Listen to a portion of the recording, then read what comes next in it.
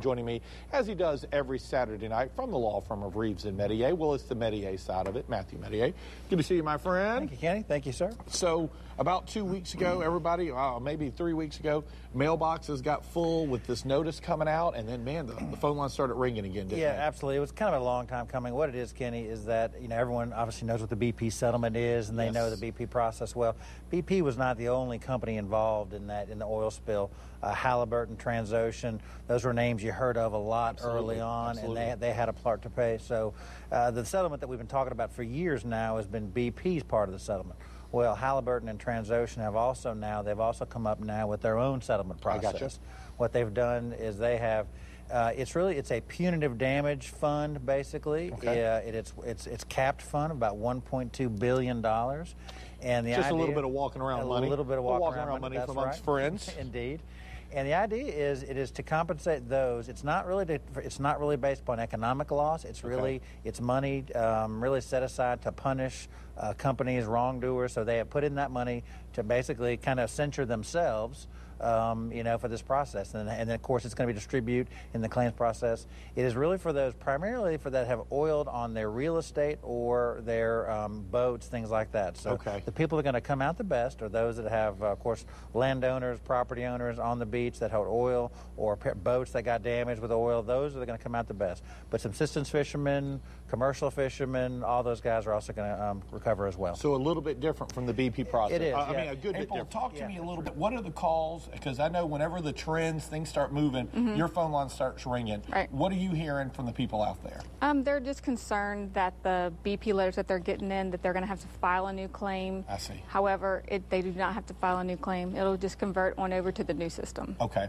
So if you had a BP claim, then you're going to, I'm not going to say automatically, but you should convert into this new Halliburton Transocean.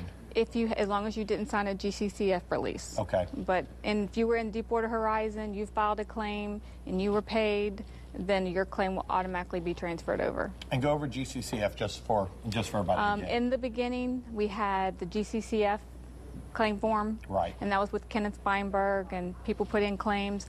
Well, during that time, if they got an offer, they signed a release, either right. five or twenty-five thousand, and if they did that, then that stopped them from actually filing in Deepwater Horizon. So that was the um, the GCCF was back.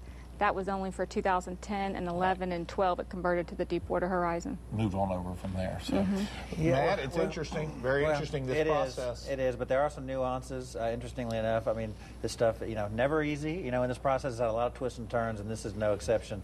Um, some entities will need to file claims, new claims. And There, Okay. there won't be many though. It's a small group, and really that group is going to be the excluded group. Uh, to go back a little, like a little BP uh, classroom work here. Sure. In the BP settlement, they carved out some industries, right, like gaming and governments Yes. uh, developers, insurance, financial banks. They carved those guys out. So those people, that's they may need to file a claim because because they were kind of kicked out intentionally by the BP process. Pogey fishermen as well. So there's some nuances here you got to be mindful of, and there's some deadlines coming up.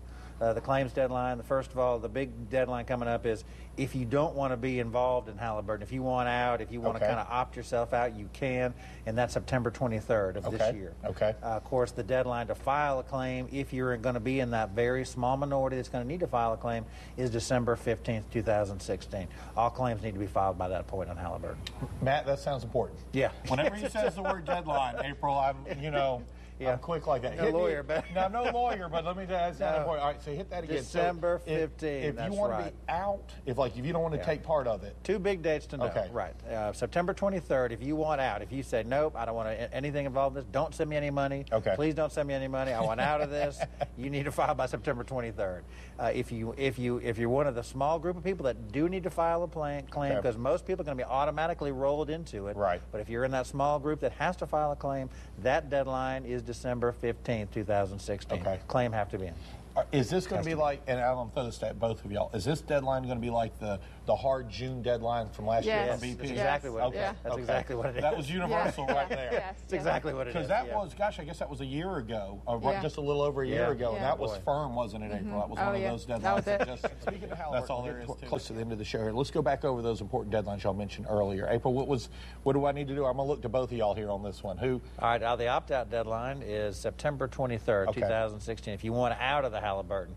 I don't really know why he would want out, but Right, if you do, just if you tired say, of it. do not send me any money, do not send me money, you file that April 23rd.